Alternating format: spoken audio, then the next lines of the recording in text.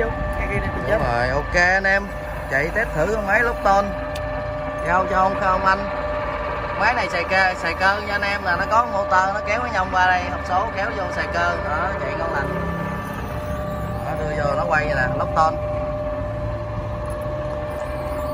Con này nó 2 mét 3 ly 2 vậy là ok rồi.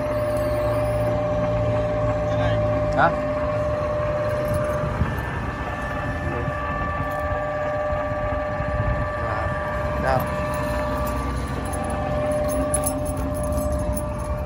quay ngon lành luôn nha mọi người.